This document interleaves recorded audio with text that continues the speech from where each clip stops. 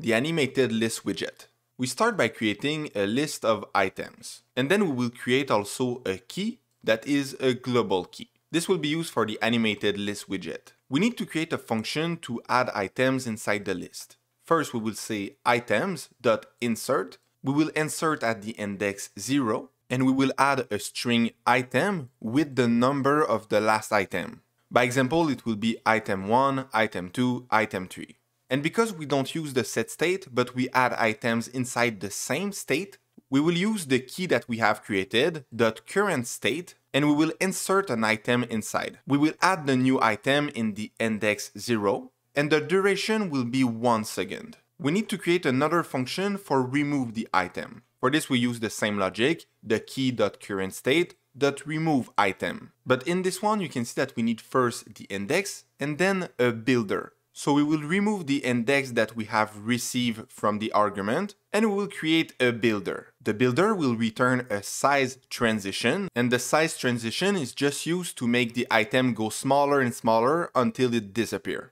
The size factor will be the animation that we receive from the builder. Then we have a child, which will be a card. We will add a margin inside this card, a color red, and the child will be a list tile. In the list tile, we will have the text deleted and the style will be a font size of 24. If you go over remove item, you will see that you need also a duration. We will say that the duration is 300 millisecond.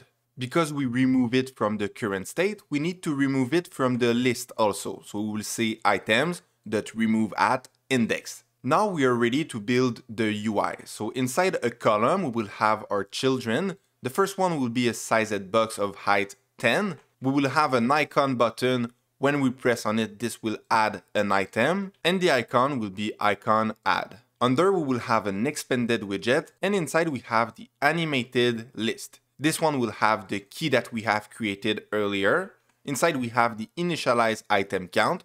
We will start at 0. The padding will be an EdgeInsets.all 10 and we have the item builder you can see that this one need the context, the int, and the animation. So we will have the context, index, and animation. We will return again the size transition. This time we will use it to make the item go bigger and bigger until it have its final form. We will use a unique key for all of these size transition. We will have a size factor that is the animation that we receive from the animated builder. The child will be a card. Inside we have the margin 10, the color orange accent. The child will be a list tile. The title will be a text and inside we have the index of the list of items. This will be by example item 1, item 2, item 3. The style will be a font size of 24. In the trailing we have an icon button. The icon will be delete and when we press on it, this will trigger the remove item with the current index.